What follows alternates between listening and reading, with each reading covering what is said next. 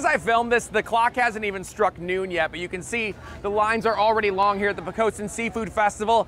But when you've had to wait three years for something to return, what's a few extra minutes? Fiddle crab, hold down. Wow. If the crabs aren't dancing, they're being eaten. This weekend marks the 40th anniversary of Poquoson Seafood Festival. Flounder. And like so many other big events, it had to take a break for a few years.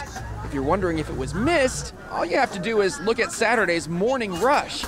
Sitting on the Chesapeake Bay, seafood is life for many here in Poquoson. This festival, the town's salute to watermen and the culture on the coast.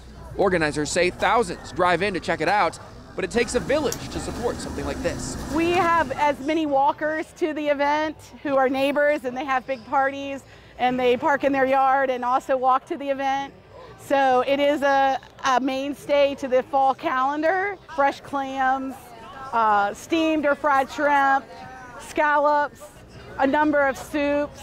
We got a behind the scenes look at two of the big vendors here Graham and Rollins and Captain Harold's, both well oiled machines serving big crowds. Then there are all the different vendors selling everything from art to shirts, all in support of the area's family owned businesses.